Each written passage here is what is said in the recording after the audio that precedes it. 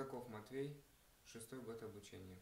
Я исполню пьесу в стиле фламенко Франческо Минисетти «Вечер Венеции».